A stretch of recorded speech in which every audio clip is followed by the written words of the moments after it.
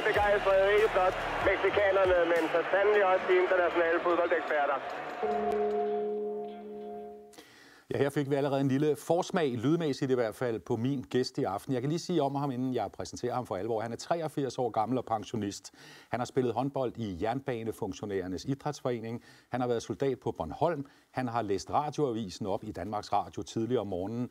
Og så har han, holdt fast, vundet US Open i tennis som den eneste dansker. Velkommen, Svend Gers. Tak. Altså de her ting med jernbanefunktionærer og så videre, det var bare min, min ufattelige research, øh, som, som bragte det frem i lyset. Men det her med, at du har vundet US Open, det, det, det er løgn.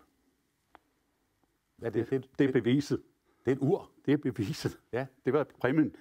Øh, det var, altså, det er en sandhed med modifikation, og lad os sige det sådan. Ja, det, fordi- det var en presseturnering. Nå, det var journalister, Det var journalistturnering. Ja. Og øh, der spillede man noget kvalif- kvalifikation inden.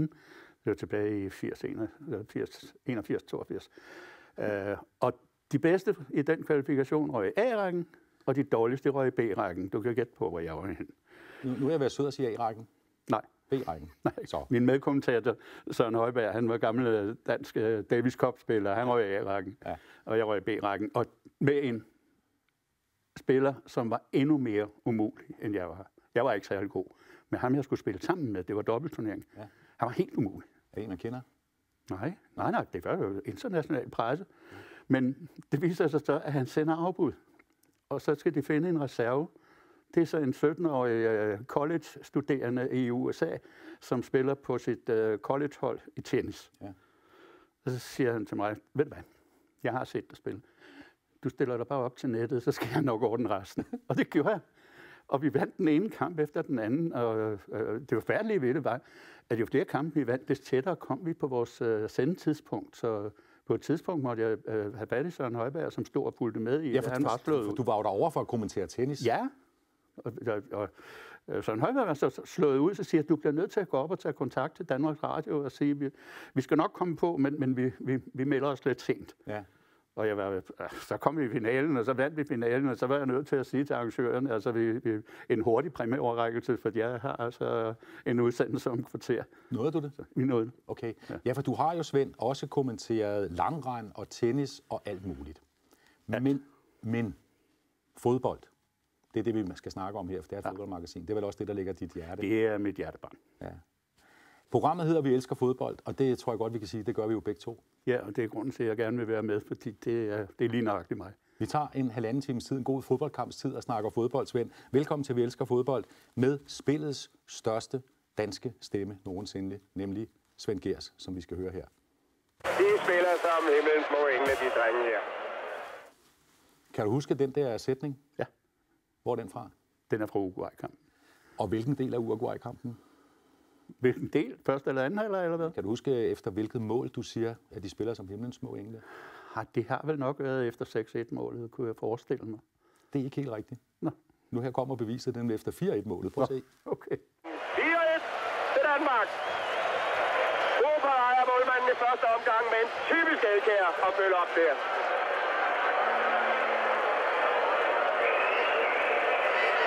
Hey.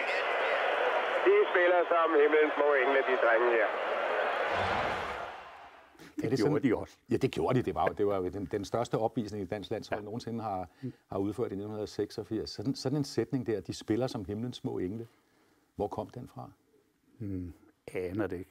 I det hele taget, øh, de der gode kampe, jeg aner ikke, hvad jeg siger. Og jeg, jeg mener det, Ja. fordi jeg spiller den kamp nede under bordet. Men jeg ved, jeg, jeg, der er flere af de kampe, de store kampe, som jeg har måttet hjem og se, for at finde ud af, hvad sagde du egentlig? Hvordan er det så at, at høre det igen her en øh, 6-37 år efter? Pragtfuldt. Ja. Pragtfuldt. Fordi så genoplever man øh, hele den kamp der. Det er jo et Preben Melkærs bedste landskamp nogensinde. Tre mål. Han scorer tre mål og lægger op til to. Hvad, ja. hvad ved du mere? Jeg kan røbe så meget, at øh, vi er ikke færdige med at snakke Uruguay, eller Sovjet, eller de andre store kampe, som du har øh, lagt stemme til, vi herligt. i gang med nu. Vi starter et andet sted, Svend, nemlig øh, ikke så længe tid siden med din afgang, øh, da du endelig går på pension, om jeg så må sige. Mm. Den blev jo voldsomt omtalt. Hvordan havde du det med, at det, at du skulle stoppe, øh, blev sådan øh, en, en, en, næsten en forsidehistorie? Det kom bag på mig, mm. øh, må jeg indrømme. Og, og, øh, jeg tænkte, kan det virkelig være så stor en begivenhed? Det var husk på, det var anden gang, jeg gik på pension. Første gang var i 2005. Og, der, der var en hel del øh, virak omkring det, men, men, men her er det sådan lidt mere definitivt, og det er nok derfor, at øh, det, det fik så meget øh, opmærksomhed. Det var jo så stort, at øh, da FC København møder Bayern München i Champions League-kampen inde i parken, der bliver du faktisk øh, trukket ind til Peter Grønborg, og ikke mindst til før omtalte Preben Elkær og Michael Laudrup, der står der nu som, som kommentatorer. Og øh, her skal vi lige høre, hvad Elkær siger, da han øh, også er med til at sige farvel til dig. Nå, men Svend har jo været der altid. Svend har været der, siden jeg var lille dreng, har jeg hørt på Svend, og siden mødt Svend, og til sidst også arbejdet med Svend. Jeg har ovenikøbet sendt ham på pension én gang. Åh, oh, du har været min chef også. Jeg har også været hans chef, ja. Det var rigtig godt.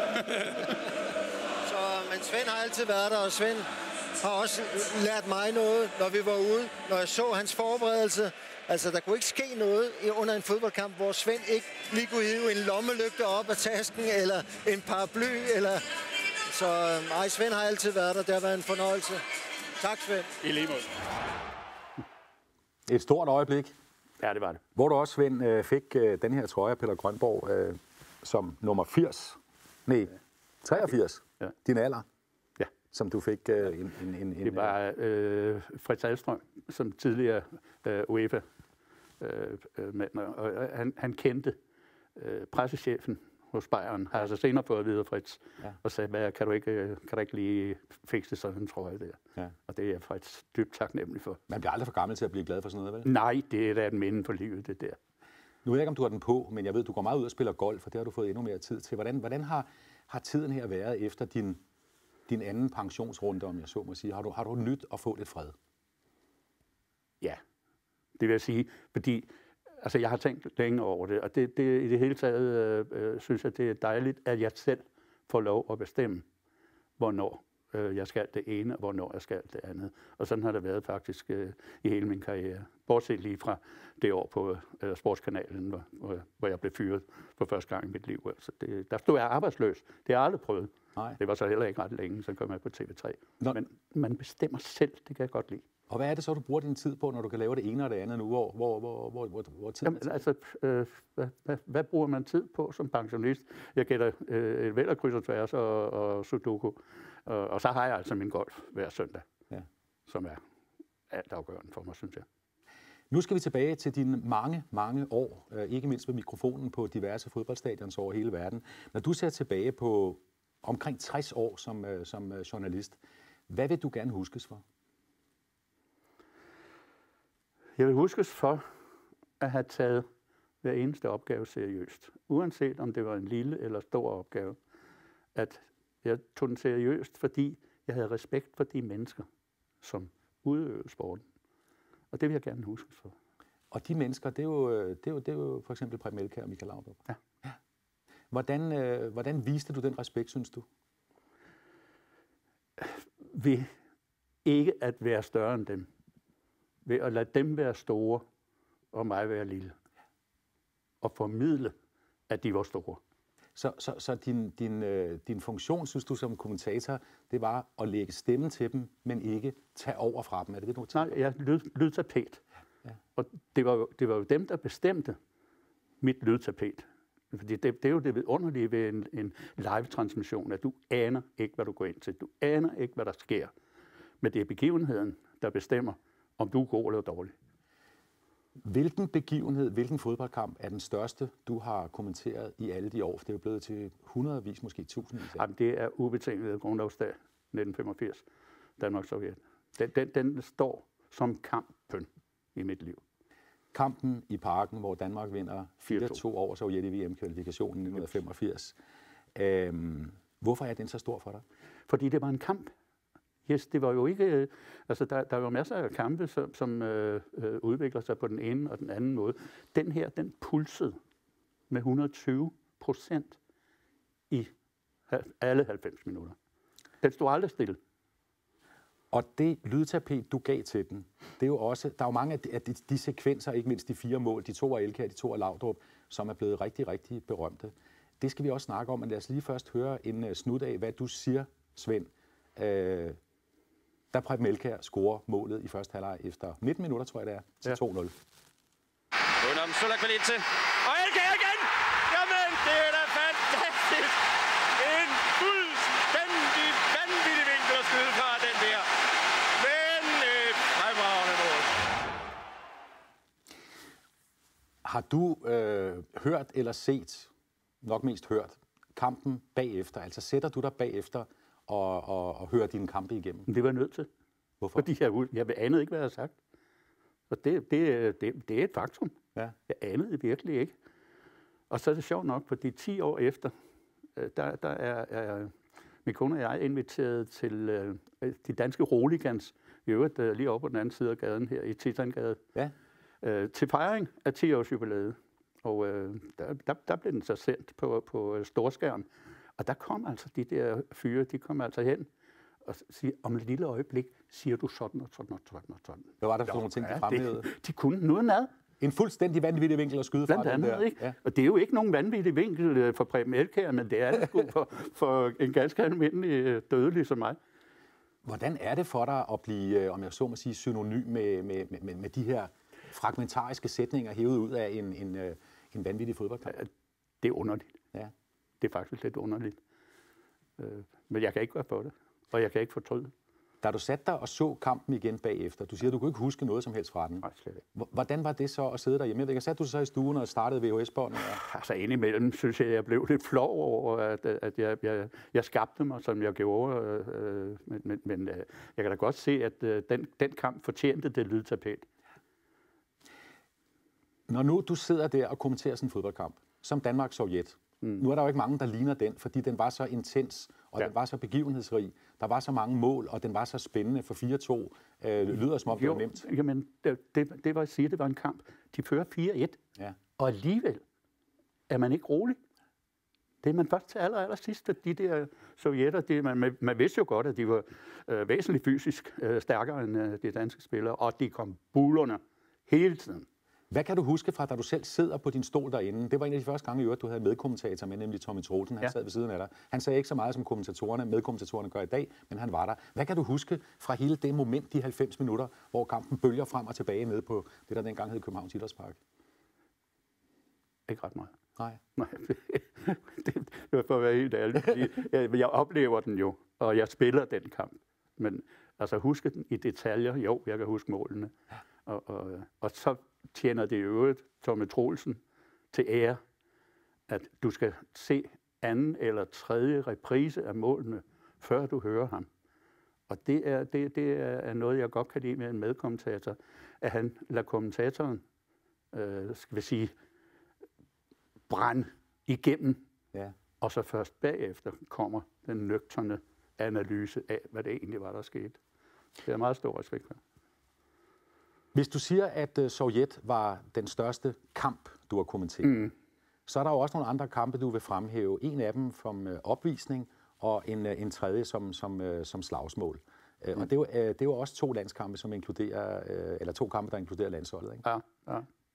Er det Opvisningen, det, det, var, det tror jeg, alle danskere, der har set den kamp, øh, øh, vil, vil sige, det var kampen mod Uruguay i, i Mexico i 86. Ja.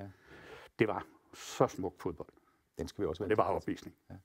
Slagsmålet. Ah, det er øh, fra 84 Belgierkampen, hvor, hvor vi skal have uafgjort, men ender med at vinde 3-2. Øh, øh, vi, vi er bagud 2-0, og, og øh, det var altså, der blev gået til den. Og det var klubkammerater, som øh, øh, specielt fra Belgiernes side jordede nogle af, af, af de danske spillere. Og det var altså nogle klubkammerater. Så, når du sidder nu så mange år efter, Svend, øh, derhjemme og lyser kryds og tværs og spiller golf om søndagen osv., øh, savner du at sidde på et stadion og kommentere? Nej, det gør jeg faktisk ikke, fordi øh, jeg har vendet mig fra, vil jeg sige. Øh, jeg, jeg, jeg, jeg, jeg vil faktisk næsten hellere øh, sidde og se den i tv. Øh, både fordi øh, man, man, man ser nogle detaljer, som du ikke kan se på et øh, stadion sådan umiddelbart. Og slet ikke, når man er holdt op. Øh, før i tiden var man meget mere ops på detaljerne og sådan noget. Men det forsvinder med årene, altså, når, man, når man ikke beskæftiger sig med det. Så jeg siger, timingen, det er noget af det allerførste, der forsvinder, og det er noget af det allervigtigste for en kommentator. Nej, jeg kan nyde at se en fodboldkamp, for jeg ser fodbold. Han er uhyggelig for alle forsvar i verden, Brett her. Der var han igen, Preben Melkær fra Uruguay-kampen. Dem har vi som et lille lækkert lydtapet hele vejen i udsendelsen. Det lyder fornuftigt. Ja. Der er nok nogen, der tror, Svend, at du kun har beskæftiget dig med fodbold som kommentator, at du har siddet på tribunerne og kommenteret alt den tid, at du har haft med det her fantastiske spil at gøre. Men det er ikke rigtigt. Nej. Fordi du har faktisk også været ret god til selv at spille fodbold. Er det ikke rigtigt? Ret god. Jeg var rimelig god. Rimelig god. sige. Ja. Vi har et foto af dig, mm. som har 67 år på bagen. Det er fra før jeg blev født. Fra 1956. Det glæder mig. Må vi godt vise det? Ja. Det kommer her.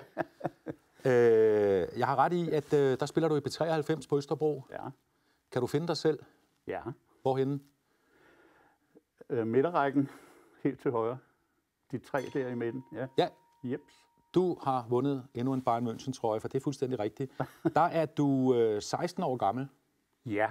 En og stor det er øh, øh, også en af mine helt store. Det var faktisk min første helt store fodboldoplevelse. Ja. Vi var i pokalfinalen, den københavnske pokalfinale mod Frem, Ja. som havde en vis Erik Dyrborg med blandt andre. Så havde han noget andet. Noget, Erik, han, Madsen? Ja, han købte, han købte sit... Et, Ja, men han, han hed Dyrborg, eller kom til at hedde Dyrborg. Ja, han var i hvert fald med, og Frem var kæmpe favoritter. Ja. Ja. Og vi vinder 4-1. Men det, der var det sjove ved det, det var som forkamp til København, provinsen, som man brugte til udtalelse af landsholdet dengang.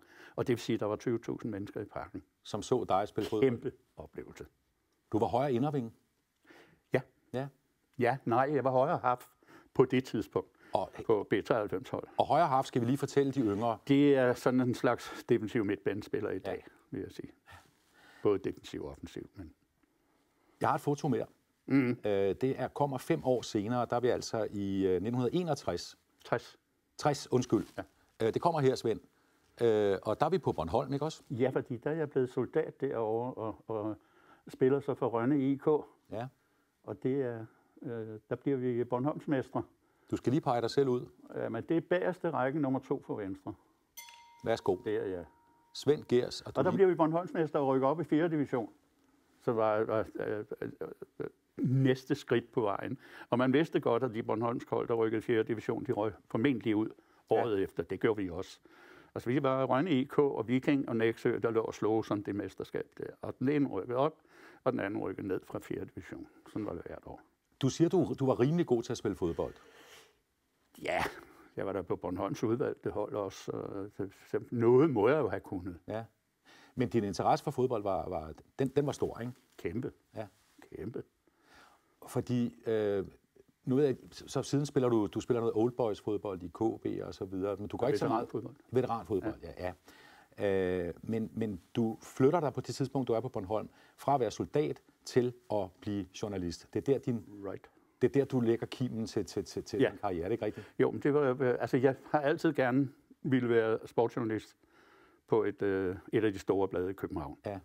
Men du kunne ikke komme ind på et øh, blad i København, hvis ikke du havde en, øh, skal vi sige, mesterlæreruddannelse på et provinsblad. Ja. Øh, de københavnske blade havde ikke elever. Så der vidste jeg godt, at jeg skulle i mesterlærer på et provinsblad. Og lige som jeg er færdig med at, at, at, at være soldat, der bliver der en uh, elevstilling ledig på Bornholmstiden, som jeg søger og får. Ja. Og fra den kommer du videre, hvis vi nu skal sådan spole lidt i din tid til, til Ekstrabladet. Ja, Øh, jeg hopper faktisk i elevtiden. Der var tre års elevtid, og jeg hopper i andet elevår. Det havde jeg det rigtig skidt med, fordi jeg havde faktisk lovet at blive elevtiden ud.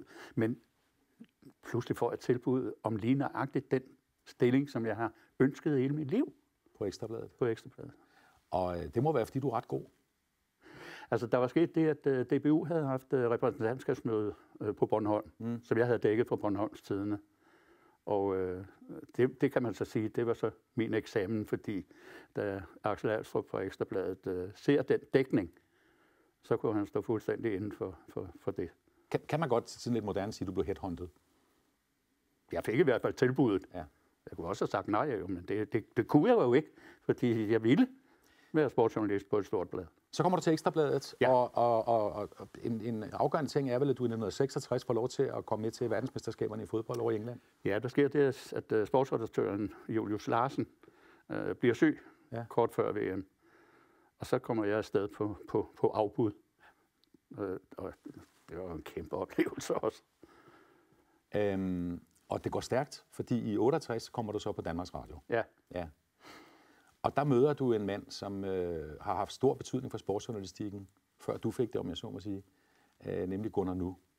Jamen, han var mit barndoms idol. Og det var, det var han for mange. Fordi det, det var jo før tv-tiden. Der, der, hvis der var landskamp, eller, øh, så, så, så hørte man det i radioen, og det sad vi også i mit barndomshjem og gjorde. Og da du sidder som ung mand øh, ude på, på, på Danmarks Radiosporten, som jo både laver radio og tv, I var sådan en, en, en lille tæt gruppe, ja. øh, der om jeg så må sige dækkede begge de her øh, to medier. Var din ambition der, at nu du vil gerne være fodboldkommentator, eller hvor, hvor, hvor lå sådan din... Jo, din men når du, når du starter, øh, som jeg gjorde, så er du langt nede i hierarkiet. Ja. Fordi alle øh, vil gerne være fodboldkommentatorer. Alle vil gerne kommentere landshold. Så jeg startede nede i, i bunden af, jeg tror, jeg havde min, min første udsendelse, øh, eller min første indslag i søndagssporten. Det var faktisk et uh, motocross-stævne. Okay. Et eller andet sted på Sjælland. Og jeg, jeg vidste ikke noget om motocross, men altså, der var altid folk klar til at hjælpe, når man var ude til sådan noget. Men det var ikke en kommentatoropgave, det var en filmopgave. Men, men, øh, men, men det var fodbolden, du ville, ikke? Jo, det, det var det, jeg gerne ville. Men jeg kunne godt se, at øh, der var der må, måtte man væbne mig lidt med, med tålmodighed. Jeg ved også, at, øh, at du, øh, du var jo så i 66 til VM i, øh, i England for Ekstrabladet, Ja. og i 70 der bliver det spillet i, øh, i Mexico. Der tror du, du skal med, men så, øh, bliver, bliver, så, så sker der noget med Gunnar, som faktisk gør, at du og han kommer hvis nok ud fra jeres eneste uoverensstemmelse. Ja, det tror jeg. Øh, der, der havde jeg jo kommenteret engelsk fodbold i et år, Ja. og ideen med det var, at jeg skulle bruge de engelske kampe til at uddanne mig, så jeg var moden til at komme til VM. Ja. Og så bliver holdet til VM udtaget, og jeg er ikke med. Der blev jeg sur. Hvorfor? Jamen, jeg bliver aldrig sur, altså, jeg blev virkelig sur på gamle Gunnar Hansen. Det var jo synd. Ja. Men, øh, og jeg var faktisk på vej, kan man godt sige, øh, ind og sige op. Eller i hvert fald slå i bordet. Så bliver jeg stoppet i, lige foran døren ind til Gunnars kontor af- Niels Christiansen. Så siger jeg, ja, rolig. Jeg skal nok gå ind og snakke med den gamle. Og du kommer afsted. Ja, han går så ind, og så af, af mærkelige veje fik Gunnar en, ak- en akkreditering mere. Han kunne mange ting. Du nævner det selv, at året før, der er I jo startet med, med, med noget, som også får stor betydning, nemlig de, øh, de engelske tipsfodboldskampe. Ja. Øh, Det hed ikke tipslørdag fra starten, sportslørdag eller et eller andet, men, men man begynder at sende de her kamper. Det er jo sådan en revolution for fodbolden og en revolution i dansk tv. Jamen i det hele taget øh, live-kampe øh, i dansk tv var jo ikke noget, øh, der var særlig almindeligt. DBU ville jo ikke have, vi sendte landskampene live.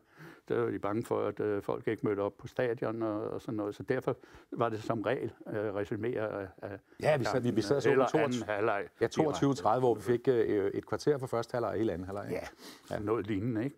Men, men den engelske fodbold, der fik vi den, den ægte vare direkte. Ja, og det fik vi jo en gang om året, og det har vi fået øh, siden mine ungdomsår. Mm-hmm. Øh, den engelske pokalfinale. Ja. Der fik vi den fra første trut i trompeten fra øh, de, de fantastiske tattoo, der gik forud for de engelske kampe, og så øh, til sidste spark i kampen. Ja. Og folk elskede jo de der øh, øh, øh, pokalkampe, eller pokalfinaler. Og, og derved elskede folk også engelsk fodbold. Så det var en gave at få en kamp hver lørdag live. Det, det var en kæmpe forandring i dit liv, går jeg ud fra, at du pludselig skulle rejse derover en masse lørdage Ja. øh, og kommentere de her kampe live fra, fra alle mulige mærkelige øh, øh, stadions. Hvordan var, var, var sådan en tur typisk? Altså jeg tænker på, som jeg kan huske det, så var det jo sjældent fra de helt store stadions, Old Trafford og Nej, men det var fordi Anfield. aftalen var lavet med, med uh, det kommercielle tv i Midlandområdet. Og det vil sige, at vores kampe foregik typisk i Wolverhampton, Derby, uh, Birmingham og, og sådan noget. Uh, Jeg når kan vi huske- så så nogle af de store London-hold, så var det fordi, de var gæster i de kampe der. Ja, jeg kan godt huske, at et af de steder, man stort set øh, man meget ofte var på, det var Molineux Ground, hvor Wolverhampton holdt til, hvor ja. vi så blandt andet en gut som øh, Derek Dugan, en fantastisk spiller. Jeg kunne simpelthen ikke lade være med at kalde et billede frem af ham, for han er jo næsten sådan indbegrebet af det, øh, som, som I sad og kommenterede dengang. Ja. Og det der stadion i baggrunden, Svend, det var vel meget typisk for, at det var jo ikke luksus, der mødte jer derovre. Nej, og det kom øh, faktisk øh, temmelig meget bag på mig, at det var så primitivt, som det var. Øh, det, det havde jeg ikke i min vildeste fantasi forestillet mig. Øh, og det kom faktisk også bag på Gunnar Hansen, for jeg tror, han lavede én kamp, og så tror jeg, han vedtog med sig selv, Aldrig mere, for han var jo vant til at sidde på Wembley og være i, i, i selskab med BBC-folkene dagen før kampen, og få en djævelens masse oplysninger om det ene og det andet. Her der øh, blev vi fragtet til stadion, og så måtte vi altså selv finde ud af, øh, øh, ved hjælp af, af den engelske kommentator, at få nogle holdopstillinger. Det var som regel kvarter, 10 minutter før kampen. Øh, sidste år, der var jeg, det kan jeg lige fortælle, der var jeg over at se uh, Manchester City mod FC København. Ja. Og pressepladserne, det var sådan nogle forede sæder. Der var en lille skærm, hvor vi kunne sidde og kigge, ja. og vi fik lidt god varm mad, inden vi gik ud på stadion. Mm. Men hva, hvordan var omstændigheden? Hvor sad kommentatoren?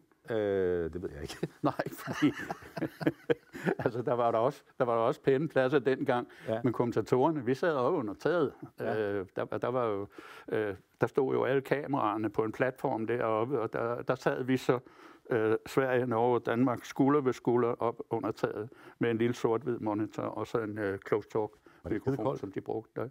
Så var der koldt. Det finder man jo ud af, øh, at man ikke er klædt ordentligt nok på, fordi man sidder deroppe i en 3-4 timer, og der, der, der bliver altså koldt indimellem. Du har, øh, da, da vi snakkede sammen forleden, så sagde jeg, prøv lige at tage nogle af de ting med, som du lærte, du skal have med på stadion. En slags kommentators overlevelsestaske. den har du taget med her, Svend. Ja, altså jeg vil sige, at noget af det allervigtigste, det var den her. Rotmans det er Rotmans, øh, det, det var et tobaksfirma, der lavede den hvert år. Ja. Det var det første, jeg overhovedet anskaffede til den første kamp. Ja.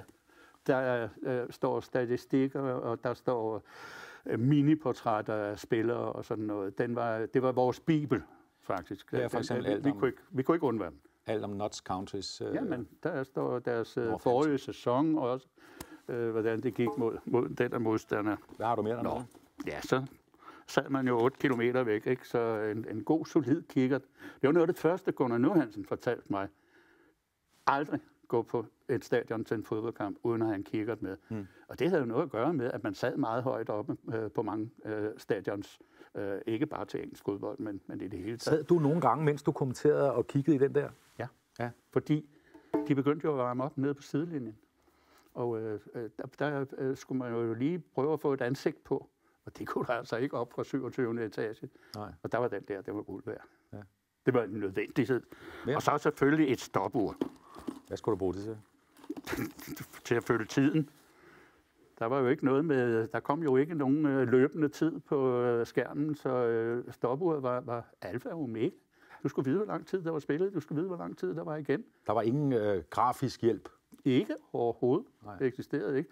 Og i det hele taget, da, da senere kommer på TV3, de, de ville helst ikke have det, fordi så var de bange for, at folk ville flygte, hvis de vidste, at der kommer 10 minutter igen. Eller så, og, og kendte stillingen også, jo, ikke? Du har mere nede i tasken? Ja. Mange sjove ting. Men det allervigtigste, og det har ikke spor med tennis at gøre. Nej. Men jeg skal, det er jeg, jeg skal lige tennishylster. Ja, det er, så, det, det er lånt af mine naboer, Karen og Lars. Ja. Fordi du sagde forleden, du havde tennishylster med, men du havde bare ikke liggende. Med plastiklåg. Med plastiklåg, ja. ja. Og det hang sammen med, at når vi sad deroppe, så, så øh, blev... Så man kravlede op ad en stige op til det der platform, mm. eller den platform der. Og den stige, den kom jo ned fra tilskuerpladserne, så den blev fjernet, øh, når kampen gik i gang. Så I var sådan, om jeg så må sige, låst inde der oppe var, på... Vi var simpelthen plantet deroppe, mm. og du kunne ikke gøre noget. Og, øh, der var så, øh, jeg havde altid en aftale med min norske kollega, at, at, kollega, at det første vi gjorde, inden vi gik derop, eller det sidste vi gjorde, inden vi gik derop, det var at drikke en lille skvæt fadøl. Ja. Fordi så kunne vi nå at tisse, inden vi kom derop. For vi vidste godt, at når vi først var deroppe, så kunne vi ikke komme til at tisse. Så aftisning op på plateau, ja. og så hvis du skulle tisse, må gå ud fra, at den har en funktion? Ja, fordi jeg har oplevet en gang, hvor jeg ikke fik aftisse. Og det er det værste, jeg nogensinde har prøvet. Så, øh, det melder sig i løbet af første halvleg, øh, så, så løsner man livremmen lidt, og det letter en lille smule. Og, øh, men til sidst, der går jeg faktisk rundt. Lægger mikrofonen, det var sådan nogle close talks, så dem kunne man lægge fra sig. Og så går jeg faktisk rundt bag ved alle de andre kommentatorer, ja. og så går jeg hen og siger noget en gang imellem. Men øh, nu pauser i fodbold er, er, jo ikke det værste, eller øh, kommentatorpauser i fodbold. Så i virkeligheden noget af det, du, du har været god til, det var at holde pauser. Det udvikler du dig, fordi du skal tisse. Ja, man kan sige, at det fik jeg der glæde af her i hvert fald. Men øh, øh, det, var, det var ganske forfærdeligt. Og siden da rejste jeg altid rundt med sådan et, øh, Har du nogensinde pisset? og jeg fik aldrig brug for det. Okay. Men jeg havde det med. Hvordan endte det den, den der dag, hvor du... Den endte med det, den, den rene fryd, da vi øh, endelig kom ned, og jeg kunne komme øh, af med vandet. Altså, men, men det var et helvede, mens det foregik. Det er hårdt at være kommentator. Ja, det, Hvad, hvad er der mere i tasken? Jeg ved, ikke. Ja, så er der jo øh, stabile bosser. Det er jo øh, simpelthen en, en nødvendighed i dag til at, at, at, at sætte farver på, på øh, spiltrøjer og, og, øh, på, på manuskriptet. Ikke? Nu, vi springer lidt i tiden, for jeg ved, hvad du har i tasken. Du har nemlig også nogle af dine egne skriblerier, altså de forberedelser, som du har haft med til hver kamp. Men ja. det er fra en helt speciel kamp, det der ligger dernede. Ja. Det er selvfølgelig dine egne skriblerier, dine forberedelser, Svend Gers. Ja, det er jo Det er så til en, til en lidt senere kamp, kan vi sige, ikke? det her, det er faktisk fra Sovjetkampen, øh, Danmark, Danmark-Sovjet, øh, grundlovsdag 85. Men det, det er sådan typisk, øh, hvad man sad og, brugte mange timer på. Jeg har altid elsket øh, researchfasen øh, og gjort meget ud af den. Og Altså her så er, også gjort her. her er du siddet med din egen tusser og kuglepen og et overstregningstusser ja. Og skrevet det danske hold og det sovjetiske hold. Ja. Kvist, Busk, Olsen ja. Og så videre frem til Laudrup. I håb om, at jeg havde de rigtige opstillinger, for det, det, det, det der kan du ikke lave lige før kampen. Øh, du, du, du må gætte en lille smule. Øh, det sovjetiske hold havde jeg fra en øh, sovjetisk kollega. Det danske hold, det var, det var ikke altid lige nemt at hive den ud af, af, af Sepp. Men som jeg husker det, så, så var det for sådan en start 11. Det var den. Ja. Yes. Nede under har du så, nu kan jeg tage et eksempel, her ved Morten Olsen, der står noget nede under, som er fuldstændig ulæseligt. Ja. Men det kan du ikke læse. Hvad står der? Eller hvad er det? Jeg, jeg, jeg kan heller ikke læse det, men, men øh, jeg kunne dengang, og, og, og det kan man, fordi man selv har skrevet det. Okay. Altså, det, det, det sætter sig et eller andet sted. Så du sidder og kigger kampen og kigger ned i dem her, og så kan du fortælle det, du gør. Ja. Det næste, der er her, øh, det er også fra Sovjetkampen. Jamen, det skriver jeg under kampen. Ja. Og det er jo simpelthen minuttal på, øh, på, på, på det, der sker. Og det, ja. der er ramt ind i firkanter, det er målene. Det er målene, ja. Men prøv at lægge mærke til, at så er der en, en, øh, en tyk øh, skriblen ude til venstre, Ja. eller en lidt tyndere. Og det er altså den, den, den rigtig fede, det er fordi, det er en stor chance. Og øh, de lidt øh, tyndere, det er, sådan, øh, det er bare chancer. Her har vi så en stor sovjetrussisk ja. chance. Gushmanov, tror jeg, han hedder. Ja, den må være kæmpe stor. Men ovenpå 16 og 19, det er minutter. Ja. Der er det Elkær, der scorer, og Elkær, der scorer. Ja. ja. Det er også meget godt at huske. Og så reducerer... Og så var det i 16 og 19 minut, og hvis du kigger på anden halvleg, så i 16 og 19 minut af anden halvleg scorer Laudrup begge gange. Ja, og så kan man se 4-1. Laudrup, flot, langskud, Lærby hjælper. Ja, Og det fortæller jo noget om, øh, om det mål der mod Sovjet, hvor ja. Lærby, der tager løbet ved siden. jeps. Øh, ved siden. Ja, af- og, og fjerner opmærksomheden fra, fra Michael. Ikke? ja. Hvor meget tid brugte du på forberedelse til en fodboldkamp? Meget. Hvad er meget? Øh, Jamen, det er, det er mange dage. Øh, øh, for det første med, om, om, om landskampe. Ikke? Du, du var jo talt, hvad der hed pressemøder, og, og øh, fik snakket både med træner og spillere og sådan noget. Ikke? Og så bagefter hjem og strukturere det, fordi det, det, det skal jo struktureres sådan, så når du sidder i situationen, så ved du nøjagtigt, hvor det står det, du har brug for i den situation. Svend, når man taler med folk, der kender dig, og har kendt dig øh, i alle de år, du har, du har kommenteret fodbold, så siger de grundighed. Mm. Det er noget af det, der kendetegner dig. Du har været enormt flittig med dine forberedelser. Ja, Det er rigtigt, ja. og det var gamle Gunnar Nuhansen, der lærte mig det. For han sagde, hvis, hvis dit forarbejde er i orden, så er du også tryg, når kampen går i gang. Hvis det ikke er i orden, så er du utryg, og så er det ikke sikkert, at det bliver særlig godt. Men Den tryghed, den er meget, meget vigtig, når du sætter dig ned. Det, og kan sige til dig selv, de kan ikke ramme mig på viden. nu skal man aldrig øh, bede folk, det er jo svært at karakterisere sig selv, ja. sine egne styrker, ikke? Så det vil jeg heller ikke bede dig om, men jeg vil i stedet på, øh, der har jeg faktisk øh, spurgt en anden af dine kommentatorer, tidligere kommentatorkolleger om, hvad der egentlig er din Svend Gers styrke, eller var som kommentator, og det Spændt er, det er Carsten Værge.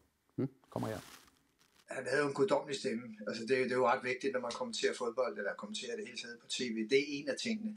Øh, så havde han selvfølgelig sine one-liners der, som, som bare var, han var sindssygt dygtig til at lave målspik, synes jeg, og chancespik og sådan nogle ting. Det er faktisk nogle af de områder, hvor jeg kiggede mest på og tænkte, jeg ved, at man kunne tage lidt der. Og så har han altid haft en formidabel timing i forhold til, hvornår han sagde tingene. Altså det passede bare til billederne, det han sagde. Og det, øh, det har vi jo diskuteret lidt frem og tilbage, hvorfor han var så god til det, og vi er jo egentlig øh, nået frem til en eller anden konklusion af, at det er fordi, han er meget musikalsk. Altså han følger meget godt med i, i, i kampens rytme, og dermed så er han meget tit på forkant. Øh, har været meget tit på forkant med det, der var ved at ske. Øh, og det er altid en fordel at lige være sådan et splitsekund foran, når man sidder og kommenterer på tv. Øh, så, så der har han altså haft nogle, øh, altså har han øh, været velforberedt, altså sindssygt velforberedt. Han slæbte jo 80.000 øh, tons øh, materiale med, når han rejste rundt og kommenterede i, i den store verden. Det sagde jeg jo lidt tidligere. Det er ret i. Der er, faktisk, der er faktisk en ting, du glemte nede i, i tasken at hive ja. op, og det er den der blå.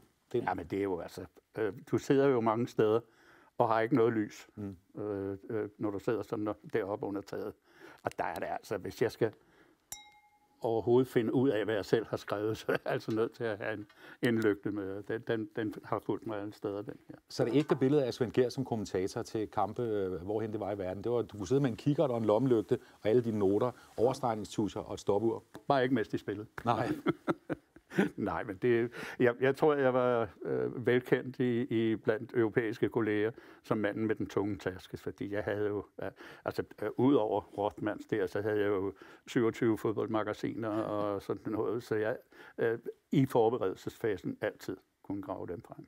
Det var det første, jeg gjorde, når jeg kom til England til en, en, en engelsk tipskamp. Vi landede fredag formiddag. Det første, jeg gjorde, det var ind i en kiosk, og så plyndrede jeg den for alt, hvad der var af materiale omkring de hold, jeg skulle ud og se. Så var der forberedt? Så var jeg i hvert fald, øh, øh, havde jeg mulighed for at være ordentligt forberedt, ja. I himlen, hvor er det vidunderligt, og hvor er det smukt. Endnu et lille genlyt med Uruguay i kampen. Ja, I himlen, hvor er det vidunderligt. Jamen, altså, jeg har blandet hele himlen og englen, og man skulle tro, det var jul. Ja, og man kan sidde og se kampen fra, fra staten. Vi skal tilbage til den om lidt. Nu skal vi lige snakke om, om, om øh, dig bag scenen, om jeg så må sige, Svend. Jeg ved, du har to børn, og du har fem børnebørn, ikke? Mm. Men jeg oplever også dig som et meget privat menneske. Øh, du har ikke sådan skiltet i billedbladet eller andre steder med, med, hvordan der ser ud hjemme hos dig og dit privatliv. Nej, øh, og det har også noget at gøre med, at det kom bag på mig dengang, da jeg kom på, på Danmarks Radio. Øh, hvor offentlig en person man egentlig blev, mm. ved bare at passe sit arbejde. Og øh, der tror jeg, jeg, jeg fik lært mig selv, at øh, der skal være en, en vis afstand. Jeg skal ikke med på, på hele den der mediemølle. Hvad, hvad, hvad var det, du kunne mærke, da den her overraskelse øh, var kommet til dig? Jamen, jeg kunne mærke, at, øh, at når man gik på gaden, så stoppede folk op og vendte sig om og glodede. De, mm. de kiggede ikke, de glodede. Mm. Og, og, øh, kan du ikke lide det? Nej, det prøvede jeg mig altså ikke om. Jeg ville hellere have haft, de, de var kommet ind og havde sagt hej. Men kan du, øh, kan du ikke lide berømmelsen? Nej, faktisk ikke. Faktisk ikke. Jeg, jeg vil sige, at jeg kan godt undvære den. Ja. Jeg tænker også på det, fordi jeg har jo fulgt din karriere øh, gennem alle årene. Så mange år er der ikke mellem, mellem os to. Jeg har jo siddet og måbet Nå, men du har jo været i samme mølle. Ja, ja, vi har endda arbejdet ja. sammen over på TV3, det er også rigtigt. Øh, men noget af det, jeg har lagt mærke til, det var, at du, øh, øh, du sjældent var det, vi kalder i roden. Altså, du optrådte ikke ret meget som, øh, som vært. Er der en grund til det?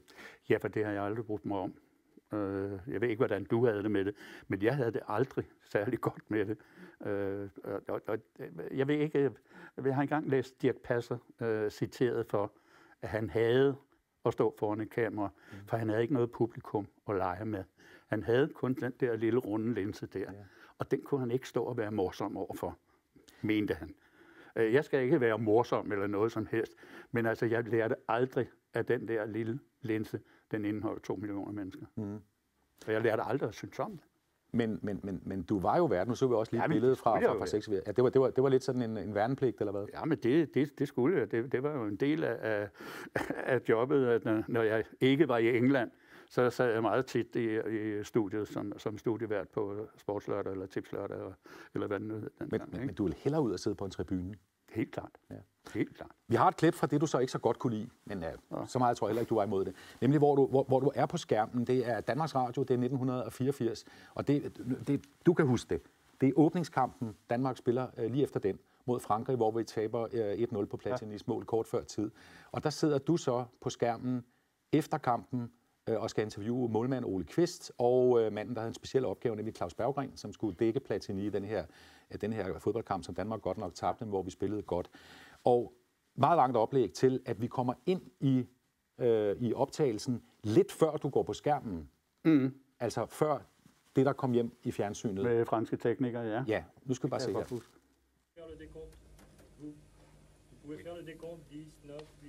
Du skulle tælle. Oui, oui, oui, oui, oui, oui. Nå, lad os komme i gang. 10, 9, 8, 7, 6, 5, 4, 3, 2, 1, 0. Ja, så sidder jeg her med to af kampens danske nøglespillere i hvert fald. Claus Berggren, det er vel nok den mest bundne opgave, du nogensinde har fået i en kamp, at skulle stække Europas bedste fodboldspiller. Du kan godt huske det? Ja, det kan jeg nu. Ja. Man lægger mærke til, hvor hurtigt jeg vender mig fra kameraet over til nogen at snakke med. Ja.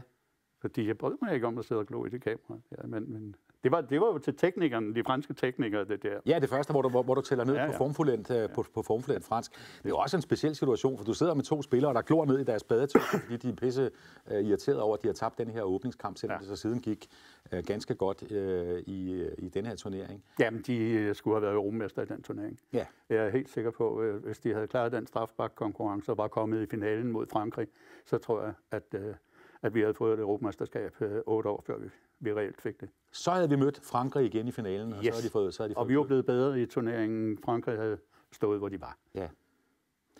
Det var den turnering, øh, og så kommer der den, fordi gennembruddet er jo der i 84, slutrunden, hvor vi taber på straffespark, Elkær brænder og så videre, skal vi ikke rode mere rundt i. Men, men det bliver jo ved med at gå godt nogle år for, for, for, for landsholdet. Vi har talt om Sovjetkampen, øh, som var grundlovsdagen 1985. Nu prøver vi at springe et år, og har jeg regnet frem fire dage frem. Mm-hmm. Hvad er det så for en kamp? Ja, det er VM, men øh, det er spørgsmålet, om, om det er øh, Skotlandskampen, eller Det om det er... Nå, det, øh, Det er kamp mod, mod Uruguay. Uruguay. Ja. Øh, og det er jo også en kamp, som, øh, som er en ikonfodboldkamp for det danske landshold, og for din måde at kommentere fodbold på. Forstår du, hvad jeg mener? ja, fordi øh, jeg blev sgu så glad i låget Ja. Over at de, altså, altså, den måde, de spillede på, eller øh, den måde, de lavede opvisning på.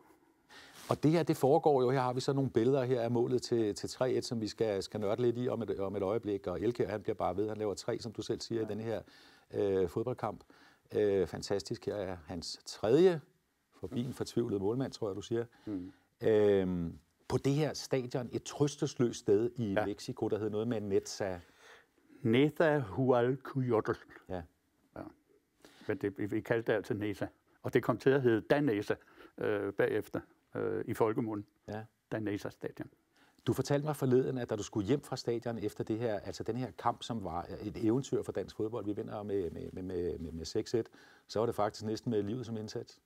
Ja, fordi øh, vi havde gennembanket Mexikos hademodstander Uruguay. Det var, det var jo sådan lidt Danmark Sverige-agtigt. Det var, det, var, øh, det var deres hademodstander, og dem havde vi altså gennembanket. De sydamerikanske mestre, du, du sagde selv, at, det var, at stadion lå i et slumområde, og det er altså rigtigt. Ja. Øh, der, der, var- altså de der små skure, de kunne dårligt hænge sammen, men der var en tv-antenne på dem alle sammen. Så alle kom jo strømmende ud på gaden i glædesrus på grund af, af, af den øh, sejr der. Og, og de, var, de var så glade, så, så øh, de var i gang med at vælte vores bil. Vi sad en 4-5 mand øh, i, i, i en bil på vej til- hjem til hotellet, og, og de begyndte at, at hæve den op i fjederne og, og ville vælte den, men af glæde. Ja. Det var ikke for at være onde ved os, men der er gudskelov kom der nogle øh, politifolk og, og fik det stoppet, for ellers så havde vi øh, vendt bunden i vejret på den bil, eller de havde vendt bunden i vejret på vores bil. Og det Du- var bare glæde. Så, så du, kom, du kom levende og helt skinnet hjem til hotellet. Ja. Og, og, og videre i turneringen, hvor det desværre så går galt mod Spanien. Nogle, øh, nogle, nogle, Ja, det havde de ikke fortjent. Nej, det havde de i hvert fald ikke. Men lad os blive ved kampen mod øh, Uruguay. Fordi der har du jo seks højdepunkter, fordi vi scorer seks gange. Mm. Sådan en målspeak. Kan man forberede den? Nej.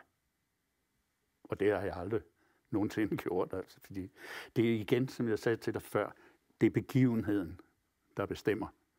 Du, du er lydtapetet til den begivenhed, men det er begivenheden, der styrer det hele.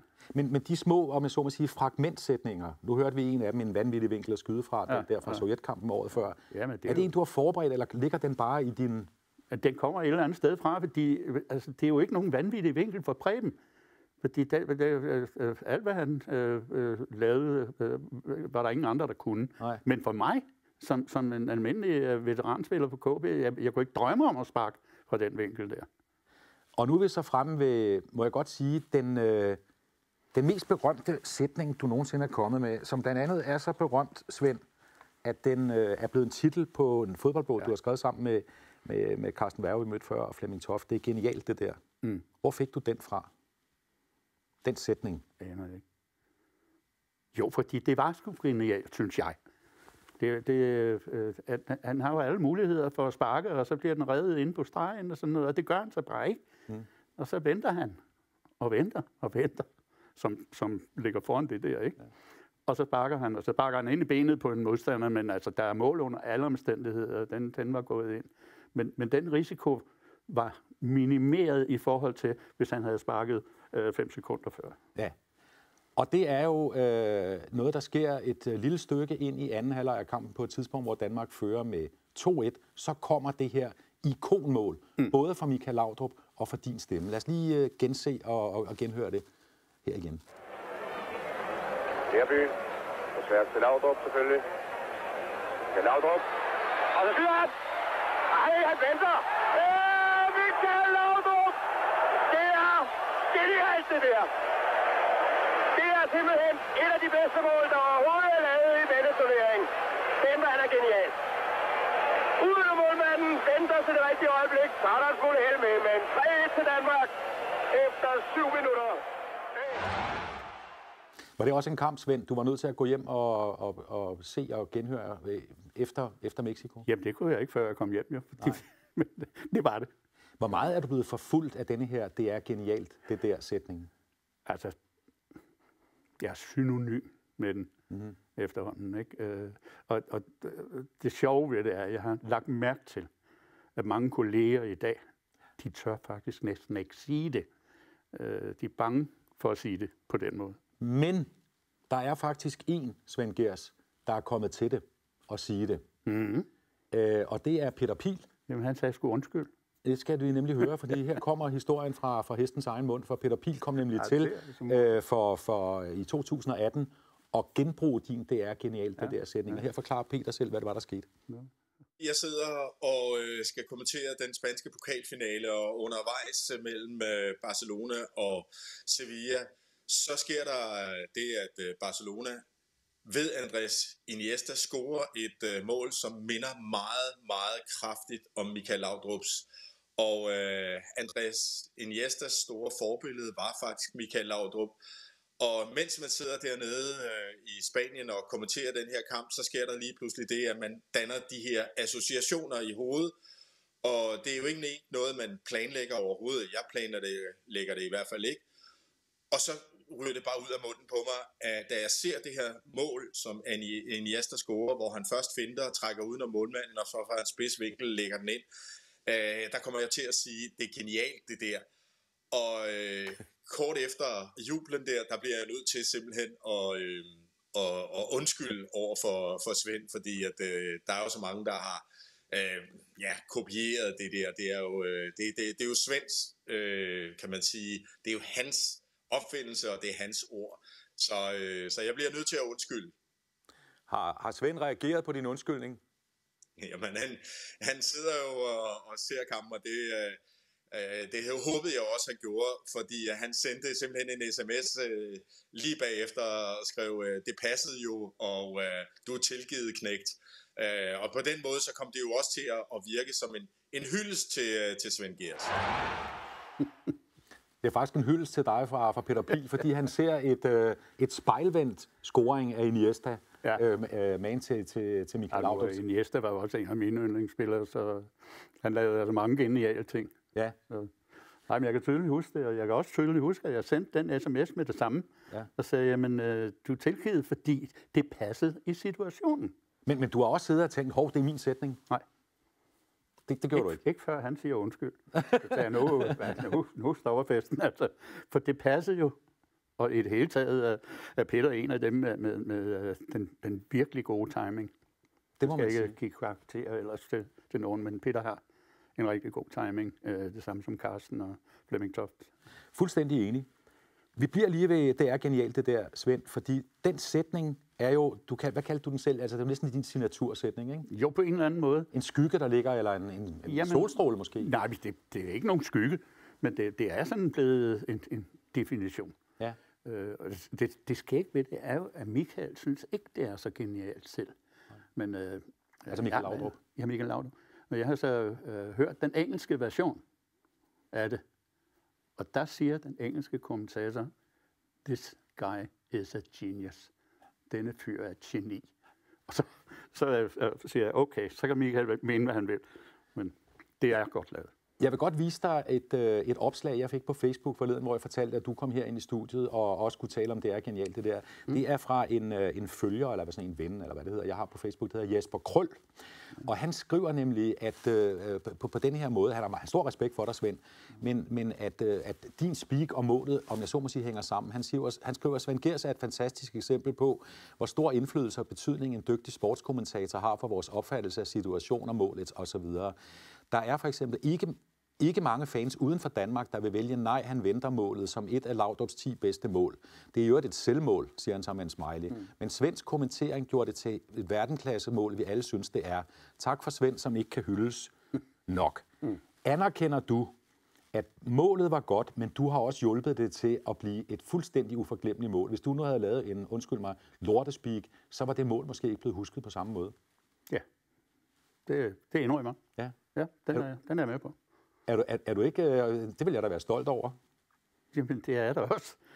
Men altså, jeg, jeg, øh, altså, jeg ved ikke, jeg får jo ikke gjort målet bedre, end det er. Nej. Øh, øh, men, men, men i og med, at han venter, så eliminerer han altså to modstandere, som hvis han havde sparket inden, mm. kunne have blokeret. Så på den måde synes jeg, det er genialt. Selvom, selvom det er også I lidt, den situation. lidt som Jesper skriver, at også der, der er et element af selvmål. Det er der et selvmål, fordi den, den ryger ind på benet af en mand, ja. som ikke har en jordisk chance for at forhindre den i at gå ind. Det var gået mål kan bare alligevel. følge den ind. Bliver du nogensinde spurgt, Svend, øh, bliver du nogensinde spurgt om at gentage de her sætninger? Ja. Og det nægter jeg. Hvorfor? Jeg vil ikke. Jamen, jeg vil ikke være en parodi på mig selv. Yes, det må du også kunne forstå som tv-mand. Altså, det, det, øh, det, det, det, vil- det, er, det er mig inderligt imod at skulle begynde at parodiere mig selv. Så det er godt, vi Lad, har an- den. lad andre om det. Det er godt, vi har den på bånd. Jamen, det er da også okay, jeg har den til. Verdensfodboldens nye stjerne der, Michael Laudrup. Og det var endnu en af Laudrups øh, scoringer. Eller det var vist lidt senere, efter du har sagt, at han venter og så videre af verden, øh, at, at du siger det her Michael Laudrup i Uruguay-kampen. Også i Uruguay-kampen, ja. Øhm, er du udmattet efter en fodboldkamp? Ja. Hvordan har du det? Jamen, jeg er fuldstændig flad, hvis det har været en rigtig god fodboldkamp. Altså, fordi så, så har jeg givet alt, hvad jeg havde, ligesom spilleren har. Og så er jeg fuldstændig færdig. Altså, der er masser af kampe fra, fra, fra England, for eksempel, hvor vi skulle tilbage til London. Der er jeg snok sovet i toget på vejen øh, fra Midland til, til London. Fordi man er udmattet. Ja.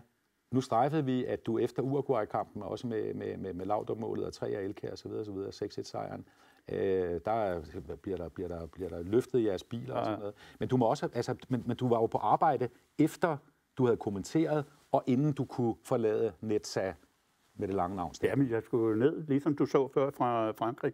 Uh, vi, skulle, vi havde et studie uh, i, i, uh, på stadion, og uh, der var vi sådan vi var ved at løbe tør for tid, fordi det er noget med en satellit, der, og du får, marker, du får, får markeret 10 minutter til et kvarter. Det er der en, der kan forklare bedre end dig. Nå. Og det var din, øh, din, din chef på stedet nede i Mexico Erik dengang. Erik Bert, lige præcis. For det var nemlig ham, der havde booket satellittiden. Ja. øh, hvor du skulle interviewe helst Preben Elkær, og du sad så klar ind i et studie, og så øh, skulle jeg ham ind, men jeg havde kun et kvarter satellittid. Ja. Og nu forklarer Erik selv, din gamle ven og kollega, hvad det egentlig var, der skete, som øh, i øvrigt også involverer en pakke cigaretter. Tiden skred, og det var jo sådan dengang, at de, de skrivende journalister, de havde forret til interview. Det var der, man gik hen først og havde et uh, pressemøde. Og der kunne jeg se, at oh, det er ved at gå helt galt, og man kunne ikke flytte på satellittider. Så jeg gik hen til Svend og sagde, giv mig en pakke cigaretter. Og uh, så fik jeg uh, øjenkontakt med Preben Elkær, Øh, der sad inde i øh, rummet i gang med pressekonference sammen med Sepp Piantek. Og øh, så viftede jeg med cigaretpakken, og så rejste Preben sig op til stor overraskelse for Sepp, og så gik ud, og så kom han ud til mig, og så sagde jeg, her, du kan lige nå at få et væs, og så er det inde i studiet, for der er en satellit og Svend, der sidder og venter på dig. Det kan du godt, ja, det kunne du jo godt huske. Ja, det kan jeg. Du nåede lige præcis at få Elkær i kassen og sendt direkte ja. Ind til, det var jo klokken lort om natten.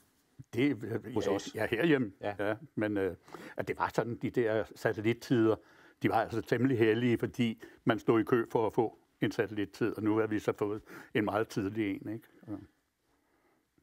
Vi er enige om, at den tid, du havde med landsholdet, det var jo din allerlykkeligste tid, altså den, det, det, det største, du, øh, øh, den største æra, du havde som kommentator. Absolut. Ja.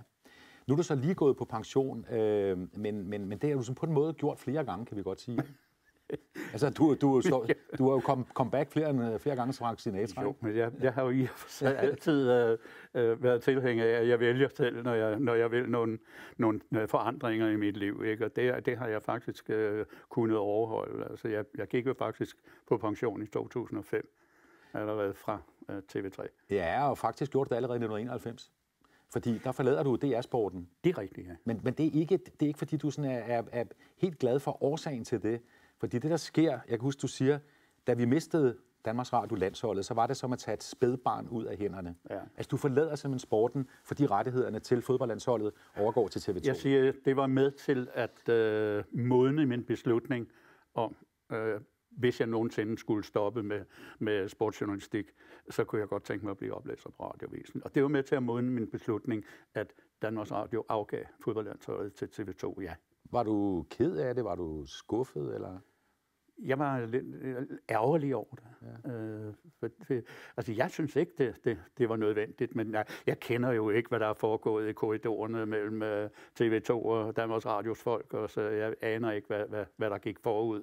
Uh, jeg kan bare huske, at jeg var ret glad, at Danmark ikke kvalificerede sig til slutrunden, fordi så var skaden ikke så stor. Det Men så, de så sker der, alligevel. jamen, så kommer jo Jugoslavien-situationen, og så går vi hen og bliver europamester. Hvordan havde du det med at sidde og se, vær helt ærlig, og se Flemming Toft kommentere finalen sammen med Elkjær? Altså nu havde jeg ikke noget, noget imod, at det var Flemming Toft. Det, det, det var faktisk dejligt. Og, og, og så havde han Preben som medkommentator, som jeg selv havde haft med mange gange. Ikke? Mm-hmm. Ja, så det havde jeg absolut ikke noget imod. Men hvor ville jeg dog gerne have spikket de kampe. Du er på radioavisen de år, øh, ja. som morgenoplæser. Du øh, sagde på et tidspunkt, at det var som at gå fra en børneverden, altså fodbold, til en voksenverden. Ja. Kedede du dig på radioavisen? Nej, det gjorde jeg mig ikke. Øh, øh, det, men øh, altså, jeg har jo altid sagt, at hvis jeg nogensinde blev træt af sport, så kunne jeg godt tænke mig at blive oplæser på radioavisen. Mm. Og så laver de det der super oplæserkorps, samtidig med, at vi mister fodboldlandsholdet. Og så tænker jeg, men det, det er et tegn et eller andet sted fra, at så er det nu, jeg skal gøre det. Ja. Og, Så de seks år, du havde på radioavisen, tænkte du på, på, på i, i, i den periode, øh, udover at du skulle tidligere op om morgenen, om øh, du nogensinde kom tilbage som, som fodboldkommentator? Jeg tænkte, at jeg aldrig kom tilbage, fordi jeg havde valgt en ny måde at leve på. Og øh, det var definitivt, og det var var vel gennemtænkt, at nu ville jeg ind i en voksenverden. Det, det var faktisk også udmærket at, at forlade den her legeverden, som sport er, Ja. og så komme ind og skulle være voksen. Det var faktisk øh, meget sundt. Så, så, så du havde egentlig besluttet, at nu var det slut med fodbold? Ja. Ja. Indtil sportskanalen, Preben Elkær og i øvrigt også Erik Bert Ja. kontakter dig i 697? 97. 97, ja. Ja. Så er du pludselig tilbage på tribunerne. Jamen, der lod jeg mig jo lokke af en anden barndomsdrøm, jeg har haft, at være med til at, at, at skabe noget nyt helt nede fra den første kontorklips. Og det var jo lige nøjagtigt, hvad, hvad TVS gik ud på. Ja. Og det var jo for dem, der, der, der ikke kan huske det, en, en, en sportskanal, der nåede at eksistere et år, hvor man skulle købe en dekoder, altså man skulle betale abonnement. Det er ikke for, i starten. Nej, der men kunne man se den gratis. Efterhånden, ja. så skulle du have en dekoder. Og det var Danmark ikke moden til. Nej. Eller danske seere var ikke moden til det. Så der går det galt. Ja, så, så TV, TVS lukker igen, men så bliver du hævet over på TV3. Ja. Ja, der, der oplevede jeg jo at være arbejdsløs for første gang i mit liv. Hvor lang tid? Øh, ja, det var et halvt års tid, ikke? Ja. Men, men øh, de, var, de var fair nok, at øh, man fik løn i et halvt år, også selvom man, man fik job andre steder, så de var, de var fair nok omkring den lukning der. Men så kommer Jørgen Madsen fra, fra øh, øh, TV3 og, og spørger, om jeg ikke havde lyst til at komme derover og lave Champions League. Ja.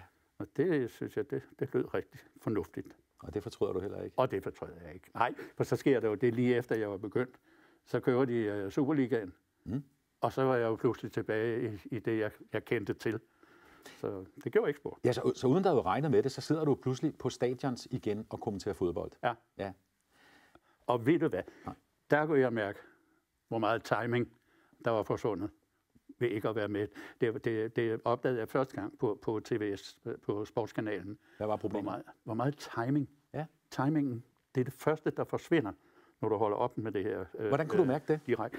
Det, det kunne jeg mærke, at jeg, jeg var bagud øh, i mange situationer. Øh, I stedet for, så, som, som øh, Carsten talte om, at jeg var foran, ja. så var jeg bagud i mange situationer. Og det var en, en, en tilvænning, som, som øh, øh, krævede ret meget. Kom du tilbage på niveau, forstå mig ret? Ja. Øh, altså her, hvor, hvor, hvor vi så har passeret over 2000, kom du tilbage på dit 80'er-niveau? Jeg kom tilbage på niveau, vil jeg sige, men, men uh, 80'er-niveauet, altså det var, 80'er-niveauet var jo betinget af det, der foregik. Ja. Og jeg oplevede jo faktisk aldrig noget lignende. Heller ikke med landsholdet. Og det du så får lov til over på TV3, det var at kommentere Superliga og stadigvæk... Uh, Champions League. Champions League, ja. Og Superliga. Ja. ja. Og italiensk fodbold øh, og øh, spansk fodbold også. Og, sådan noget.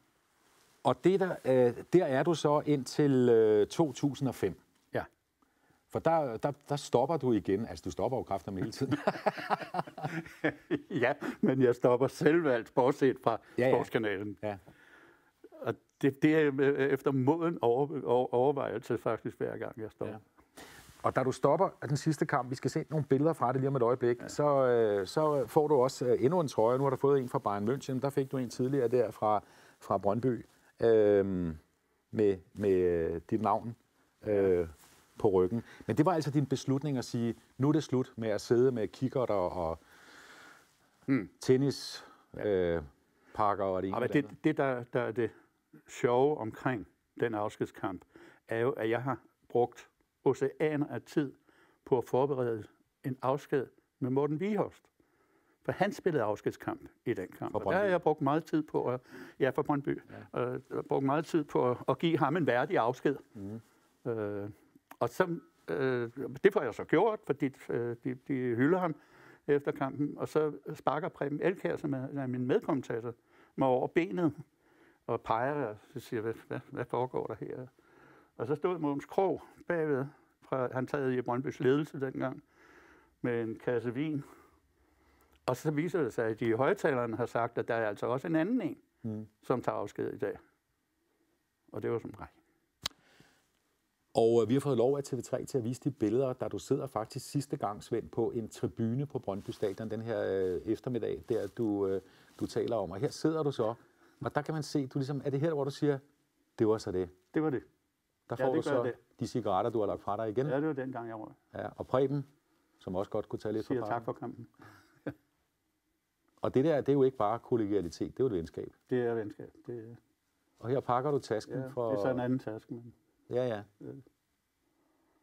Hvad, hvad, hvad går der igennem der på det tidspunkt, kan du huske det? Ja, der går det igennem, og jeg siger, nå, det var så det. Og her går du med der, den fra. der store, ja. Ja. Men altså, det var, det var et fantastisk øjeblik. Øh, der sker så også det, at øh, hele sydsiden begynder at synge. Hvad synger de? Svend Gers, vi vil savne dig. Nå. På øh, øh, Go West. Go West. Da, da, da, da. Gers, vi Vi vil savne dig. Der må jeg indrømme.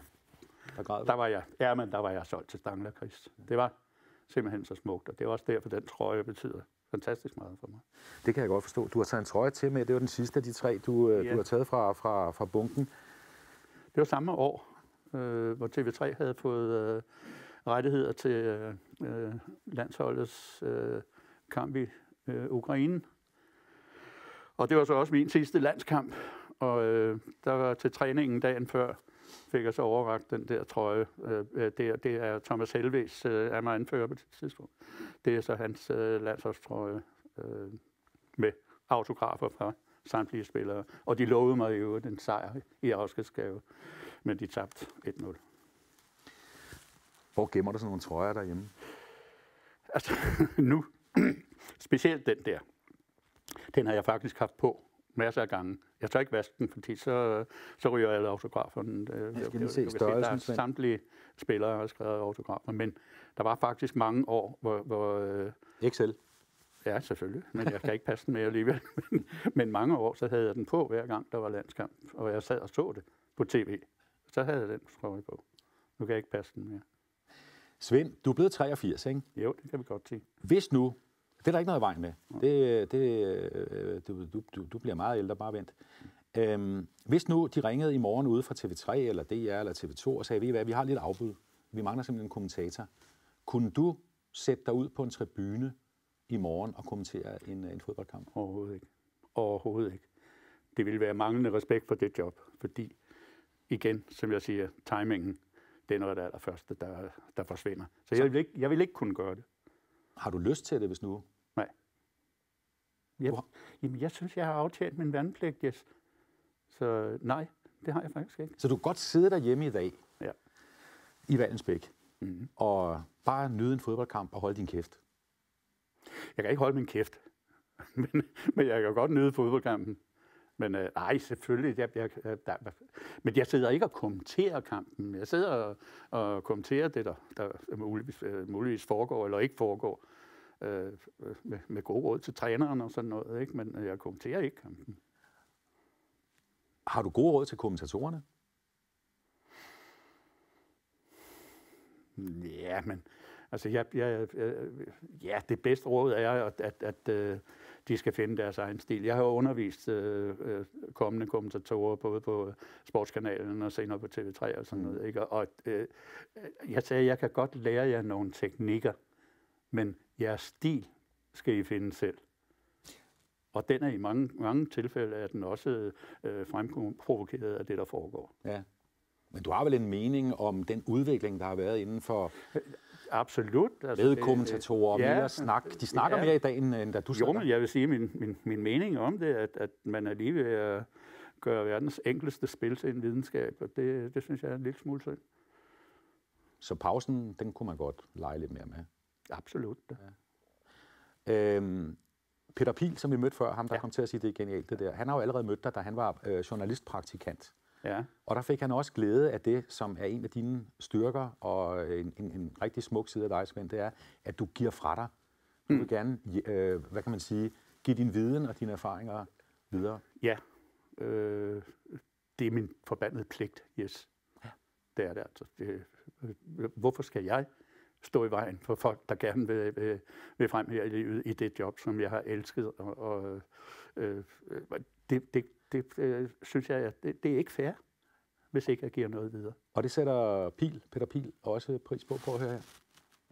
Der var sådan en aura af, over Svend, at, at øh, han, han hvilede så meget i sig selv, og, og havde slet ikke noget mod at dele ud af sine øh, mange råd. Og det var ligesom sådan, øh, jamen, værsgo her, tag alle mine råd, øh, brug dem, Øhm, og han ville jo aldrig nogensinde sige det, men øh, den måde, han hvilede i sig selv på, det var sådan, du bliver alligevel aldrig lige så god som, øh, som mig. Og hvis du engang gør, jamen så respekt for det. Utrolig Bremmelkær, den mand er da fantastisk. og utrolig Peter Pil. har, har han lidt en pointe, at du var godt klar over din egen status? Kom nu. Ja, jamen, det var jeg da. Ja. Jamen, det var jeg da, fordi øh, jeg var privilegeret, at jeg fik de store opgaver. Og, og det, det er da helt sikkert... Øh, Men, men Svend, sådan nogen gør man sig altså fortjent til. ja, Ja. det håber jeg. Jeg prøver at pille lidt i den beskedenhed, som jeg virkelig også respekterer dig for, øh, for at få dig til at forklare, hvad er det, der gør, at du nåede så langt, som noget enormt mange gerne vil, men du nåede det. Du blev Danmarks måske største fodboldstemme nogensinde. Du blev, øh, undskyld mig, hvis jeg bliver sådan lidt højdragende, du blev kommentatorernes Michael Laudrup. Åh, det er... Nu giver jeg den gas. Det er, det er, altså, det, det er flotte ord, men øh, mm, altså, de, øh, jamen, hvad, hvad gjorde det? Det, der, det var fordi, jeg kunne lide jobbet. Og jeg kunne lide fodbold, og jeg, eller jeg kunne lide sport i det hele taget. Og jeg øh, levede mig ind i det. Og jeg brugte meget tid på at forberede øh, stadigvæk. Ikke? Det er altså også vigtigt. Men øh, du har jo også, og det siger, det siger Værge, en, en god stemme. Mm. Det har du. Ja. Du har en lækker stemme. Ja, men jeg har sunget som, øh, som dreng. Ja. Jeg var sang, sangskoledreng. Jamen, det er jo... Det, Altså, altså... det, det, den musikalitet, øh, tror jeg, har noget at gøre med, med senere timing. Ja, timingen, som, som ja. Værge også talte om. Ja. Hvor meget har du slidt for at komme så langt? Hvad har du offret? Altså, jeg synes, jeg har fået det hele foræret på en eller anden måde. Altså, jeg, jeg har været øh, på de rigtige steder på de rigtige tidspunkter. Altså, da, da, da jeg øh, kommer ind og, og kommenterer landsholdet, der havde jeg gjort det et par år sammen med Niels Christiansen på radio, eller et enkelt år, tror jeg det var, ikke? Og så er det jo klart, at da Gunnar Nu Hansen stopper, øh, så er det meningen, at Niels skal overtage det. Men han bliver så chef i stedet for. Ja, det er det dummeste, man kan gøre. Siger du. Jeg har ikke prøvet det, men, Lad være med det. men, men så ligger det ligesom til mig, fordi jeg havde jo øh, beskæftiget mig med det på radio også. Og så er jeg så heldig at komme på det tidspunkt, hvor dansk fodbold landsholdsmæssigt forandrer sig, som de gør, da Sepp Piontek bliver ansat. Og jeg bliver så, skal vi sige, lydtapetet på den epoke. Men, men, men du, du har jo selv strejfet det. Du har slidt meget. Du har været, måske, det siger Værge også, det kan jeg huske, med på klippet. Du er den mest grundige, velforberedte, han nogensinde har mødt. Meget mere, end han selv var. Jo, Så det er jo ikke bare kommet til dig. Det er jo ikke kun et spørgsmål om at være på et rigtigt sted på et rigtigt tidspunkt. nej, det, er- det er jo et spørgsmål om, skal man sige, at forvalte den chance, man har fået. Ja. Og øh, altså, for mig var det et spørgsmål om tryghed. Jeg tror, jeg har nævnt det tidligere, ja. at du er ikke god, hvis ikke du er tryg. Og, og, og, og jeg ville være tryg, når en kamp begyndte. Mm. Så vidste jeg, at så kunne de ikke røre mig. Ja. Jeg har jo selv oplevet, uden at sammenligne min karriere med din, men vi har begge to været ret eksponerede, Ja. at jeg godt kunne med mellemrum være lidt nervøs for, om dem derude, der sad og så programmerne, pludselig opdagede, at jeg ikke var helt så dygtig, som øh, jeg måske lod som om. Mm. Øh, det har været en del af min drivkraft. Kan du forklare, hvad din drivkraft har været i alle de år, hvor du havde, hvor du var nået din top, men skulle blive der? Fordi du har jo altså kommenteret fodbold i, i næsten et halvt hundrede år. Ja. Altså, drivkraften har været kærligheden til Ja. spillet, øh, som jeg er jo vokset op med. Det, det, det ligger dybt i mig. Og, og, og øh, jeg kan ikke forklare andet, Jes, end at øh, det var simpelthen kærligheden til spillet. Ja. Og for den sags skyld også kærligheden til jobbet. Og det, øh, jeg, jeg vil ikke svigte nogen af de to ting. Da du og jeg talte i telefon sammen forleden, ikke? Mm. Øh, tre dage før vi, vi, vi laver det her interview, der siger du, øh, yes, jeg er lidt nervøs Mm. for at komme herind. Mm. Altså sidde i studiet på, mm. på, på, på DK4. Det har jeg jo ikke prøvet i mange år. Hvorfor er du nervøs for at sidde her på en lille tv-station og snakke med mig? Fordi jeg har jo ikke siddet i studiet i, øh, jeg ved ikke hvor mange år. Det, øh, og, jeg, øh, og det er jo igen det der, jeg er bange for, at uh, timingen måske er væk. Det er den måske også, uh, Nej. for jeg sidder og afbryder dig en gang imellem. Men altså, det, altså det, jeg, jeg vil sige, at jeg er ikke nervøs, men jeg er anspændt. Ja. Ja. Og det har jeg altså også altid været, når jeg satte mig ind til en fodboldkamp. ja. Anspændt. Altså, jeg, jeg tolker det jo sådan, at du har en øh, enorm respekt for jobbet, som gør, at derfor er du, om jeg så må sige, premiereagtig hver gang. Det har du måske også været hver, hver gang, du satte dig og skulle øh, indlede spiken til en fodboldkamp. Ja, fuldstændig korrekt. Jeg har altid skrevet indledningen, øh, og, og, og det er igen øh, gamle Gunnar Nu Hansen, der sagde, hvis du kommer godt i gang, så, begynder, så går det ikke skidt senere hen i løbet af transmissionen. Så jeg har skrevet indledningen, øh, bare nogle, men, men først når jeg sidder på stadion, Jeg har ikke siddet og skrevet det derhjemme, men når jeg sidder på stadion Og og, det. har fornemmet det hele, så har jeg skrevet indledningen i hånden. Jeg ved også, at du, når du skulle kommentere fodboldkampe, både dem i England og, og, og, og i parken og med landsholdet rundt omkring, så kom du i rigtig, rigtig, rigtig god tid. Altid. Hvorfor?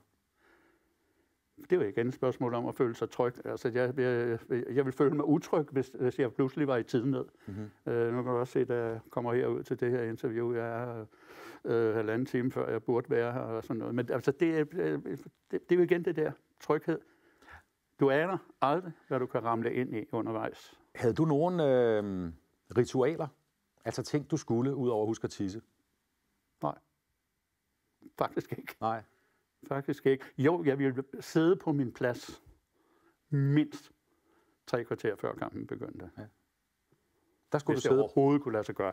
Der skulle jeg sidde, og så skulle de ikke snakke til mig. Så, så var jeg inde i den verden der. Ja. Og, og sad og kiggede i noterne som dem der. Ja. Svend, øh, når man taler med folk, der kender dig, og vi har jo også arbejdet sammen i, i, i tre år ude på, på, på Champions League, Ja. så siger de slash vi alle sammen det samme. Du er en øh, meget, meget venlig mand, du er et meget beskeden menneske, du er også sjov, men du, er, du har en meget stor ydmyghed i forhold til den status, øh, du har. mm-hmm. Er du glad for at høre det? Fordi det er ikke, det er ikke nogen bagdel. Men, men så tænkte jeg, det kan jo godt være, at du kun i godsøjne er det, når du sådan kommer ud blandt folk. Og sådan, for vi, vi mødtes ude på TV3 og sådan noget, vi har aldrig været hjemme hos hinanden. Men du er faktisk lige sådan, helt inde i det private, fordi det har jeg også spurgt uh, din gamle kollega og meget nære ven, Erik Bert, om. Prøv at høre, hvad han siger. Jeg har aldrig set Svend sur. Hans glas er altid halvt fyldt. Han er et af de mest positive mennesker, jeg kender, og han taler ikke ondt om nogen. Han plejer at citere øh, Gunnar Nu Hansen, at hvis ikke man kan sige noget godt om nogen, så kan man lade være med at sige noget. Det må også være rare ord at høre fra, fra gode gamle Ah, han er jo, Erik Bert nede i Nykøbing. han er en guttermand. Den. Ja. Vi har jo holdt sammen øh, i, i alle de år. Øh, øh, vi har faktisk øh, været fire mand, øh, eller tre mand, nede hos Erik Bert hvert år Ja. til øh, øh, Nykøbing Falster Revyen. Og vi har boet hos ham øh, på, på, på feltseng, og hvad fanden vi ellers har boet på. Ja, og så har du, Vi har rigtig du, har, du har jo tillidsværv, når I skal lave mad ude i haven, ikke? Jamen, jeg skal skal vælge st- vinen. Ja, og så skal du stikke et stegetermometer op i, i, øh, i den steg, I skal spise, ved jeg. Ah, det, det kan jeg ikke huske. Det fortalte Erik Bert mig Nej, fra- jamen, jeg skal i hvert fald vælge vinen. Så meget er, er, er i hvert fald helt sikkert. Ja, og så er der noget andet, som øh, Bert også fortalte mig og sendte mig et billede af. Det er fra din 75-års fødselsdag. Øh, Og det er et billede, der kommer på skærmen her. Her står du og Erik ved siden af hinanden ja. til venstre, og så er det øh, Johnny Johansen og Hans Grønfeldt og øh, Finn Heiner, Øh, der fire, netop døde fire desværre. dejlige venner. Øh, og det, du står med der, kan du huske, hvad det er, Svend? Ja, det er gaven fra, fra øh, Erik Bert og kompagni, altså, eller Erik og, og Finn Heiner og Hvad var gaven? Grønfeldt. Det er en bog med revyviser gennem tiderne. Og øh, jeg, jeg er jo revytosset, Ja, det er du. så det, er- det er øh, en vidunderlig bog at sidde og blade i. Ja, fordi du er, altså, så du vil mest fodboldtosse, ikke? Jo, Men også revytosse. men også revytosset. Hvor kommer det fra? Det kommer fra mit barndomshjem. Ja. Øh, mine forældre øh, havde jo, øh, så at sige, hele Osvald Helmuts pladesamling, vil jeg skyde på, på, på det tidspunkt der. Ikke? Og de sad, når de rigtig skulle hygge sig, så sad de i hver sin lænestol, og så havde min far, han havde fået skaffet en gramofon, kæmpe møbel, men hvor der lå øh, 10 plader oven på hinanden, og så skiftede den selv. Mm. Nå, du så faldt det ned. Så faldt de ned. Ja, ja, ja. Og det var også Val Helmut. Det var Osvald Helmut, øh, Ebbe Rode, øh, Liva Vel, øh, jamen det var alle de gamle øh, kunstnere. Så du har fortsat en interesse, ikke kun for Preben Melbjerg og Michael Laudrup, men også for Osvald Helmut, Osvald Helmut og, og Liva Vel for eksempel. Ja. Og det du får her i, i 75 års fødselsdagsgave på billedet, det er bogen, der hedder Ølhunde og Månestråler. Ja. ja. Men jeg vil prøve at dreje det hen til, at faktisk har din revyinteresse jo også hjulpet dig i en fodboldgåde. Kan du gætte, hvad jeg tænker på? Hvis du siger fodbold. hudlig hud, Ja. ja, nu, nu, ah, det var lidt nu kringlet. dæmmer den den, Ja, ja. ja. den, den kringlede, men, men øh, ja, men det har den faktisk, fordi jeg har efter at Carsten Værge og Flemming Toft og jeg skrev den her bog, øh, det er genialt, det der hedder den. Nej, den ligger her. Nej, den ligger der nærmest pynt med det. Den er her. Ja, der har vi været rundt og, øh, til nogle øh, foredragsseancer, øh, og hvor så øh, Flemming Toft taler om Hudli Hud, fordi det er jo hans, det er Ja. genialste der. Det, det, Altså Flemming er synonym med Hudli Hud, og øh, han har aldrig kunnet give en forklaring på, hvor det kom fra. Og det viser, at der, der, der var en uh, Leo Mathisen-sang, som han måske har hørt i sin barndom, uh, med de 40-20 røver eller sådan noget. Og, og der er en af dem, der siger hudli hud. Og der siger jeg så, jamen hør her, der er en Osvald Helmut-plade, eller Osvald Helmut-sang, Tre raske prinser højt fra nord, Ja. hvor de kommer til Bangkok. Og på kajen står kongen, en lille starut, i strivret chakut, Ved du hvad? og han siger hudli hud. Det, jeg, jeg, jeg er næsten sikker på, at du har ret, Svend, men jeg har faktisk fundet lige præcis uh, den del, altså den her sang. Det er så ikke med Osvald, men med sønnen Fritz, Fritz Helmut, Helmut, ja. der her synger, nu hører vi lidt af den, Tre raske prinser højt fra nord. Prøv at lægge mærke til, hvad der kommer. I Bangkok stod kongen en lille starut i strivret chakut. Han sagde hudli put, og Knud, der kunne spansk, sagde det vist nok betød. Kom bare i land, vi skal have en bid brød. Ja. Så fik vi også at vide, hvad det betyder. Og det anede Svend Gers ikke? Eller slutter Flemming Toft? Flemming Toft, ikke? Nej, nej.